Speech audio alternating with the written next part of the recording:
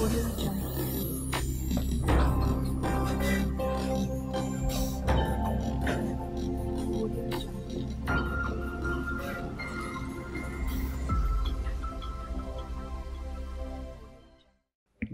بالله من الشيطان الرجيم. بسم الله الرحمن الرحيم.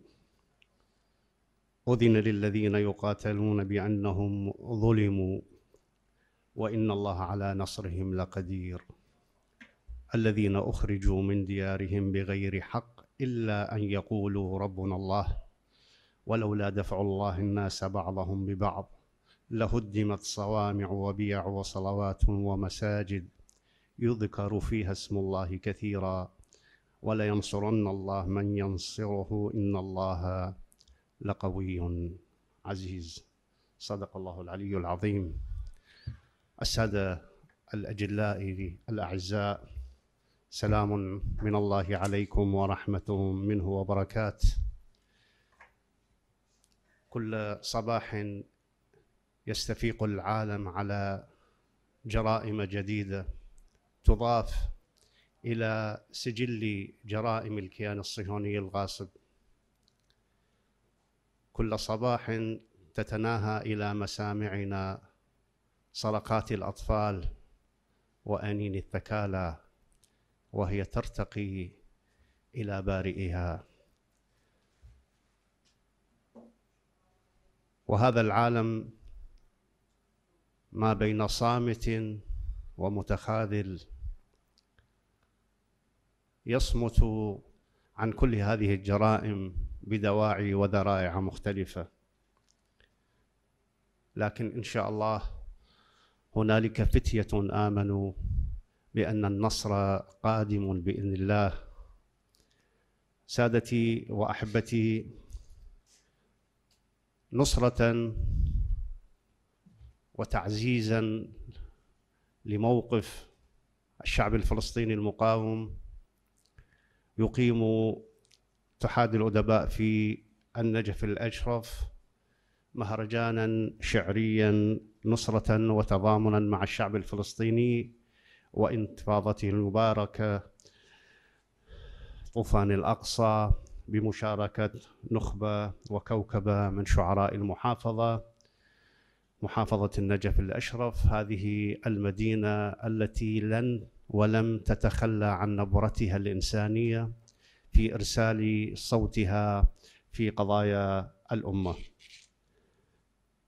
فاتني أن أرحب بضيوفنا الأعزاء. الأستاذ حميد حلمي والوفد المرافق له وهم مسؤول القنصلية الفلسطينية في العراق أو في النجف الأشرف لا أعلم بالضبط أهلا وسهلا ومرحبا بكم كما أرحب بكل السادة الحضور في هذا المهرجان المبارك وهو عربون محبة من شعراء وأدباء النجف إلى الشعب الفلسطيني المقاوم. آه، لا بأس أن نبتدئ اولا بضيفنا العزيز الأغر الأستاذ حميد حلمي البغدادي يتفضل لإلقاء مشاركته في هذا المهرجان. تفضل. السلام عليكم ورحمة الله وبركاته وعليكم السلام أسعدني ويشرفني أن أكون بمعية أساتذتي الكتاب والأدباء وأصحاب القلم والفكر في النجف الأشرف في هذه الأمسية الشعرية لم أكن يعني مهيئا لإلقاء قصيدة لكن من باب تفضل الأخوان علي فإنني أتشرف بإلقاء بعض الأبيات عن حادثة إحراق المسجد الأقصى. فلسطين ما زالت مرابعها ثكلى وأحرفنا في جنب محنتها خجلا. فلسطين آيات تشع جلية وأكرومة الإسراء في قدسها اجلى بها ليلة منها تفيض عجائب. حباها العلا طه وكان بها الأولى. فلسطين يا أمثولة الوحي والرجا. بيوم سما خير البرية للأعلى. سلام على ربع وأرض طهورة. بها قبر إبراهيم والقبلة الأولى. بها المهد والراعي وتاريخ نهضة. وأم بتول وأم بتول أنجبت قائلا طفلا. بها المهد والراعي وتاريخ نهضة.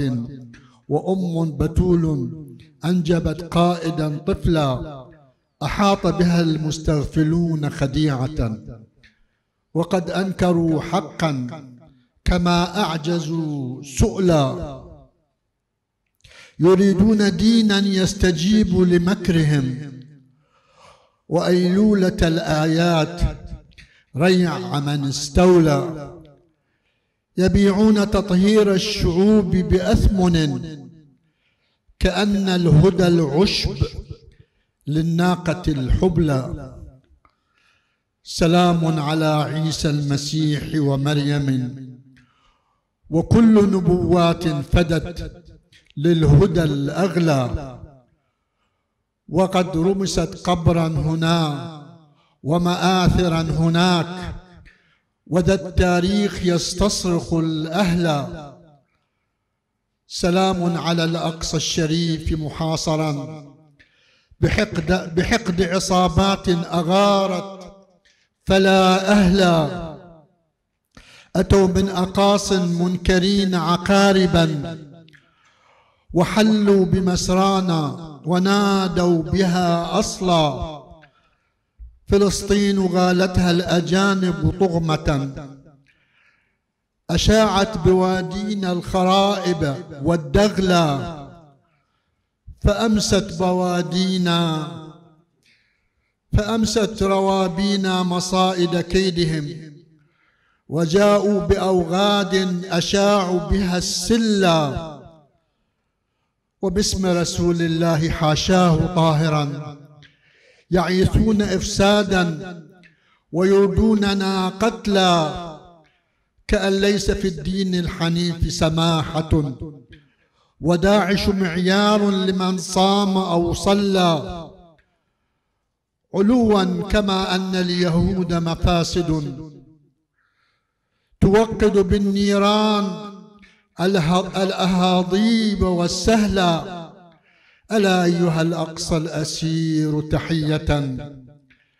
بيوم غدا فيه الحقود. وقد غلى بيوم عدا فيه الحقود وقد غلى فأجج نيرانا بناديك ناظرا. أيثأر مقدام ويطرده ركلا؟ ولكن سياس الخيانة أجمعوا على بلعها علفا مهينا وفي مخلا. فلسطين لا لن يستكين مقاوم.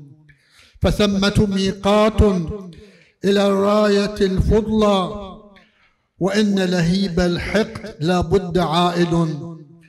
على غاصب قد أحرق الحرث والنسل ستبقى فلسطين السليبة قبلة لرايات تحرير مسومة. عجلة. والسلام عليكم ورحمة الله وبركاته. شكرا لكم.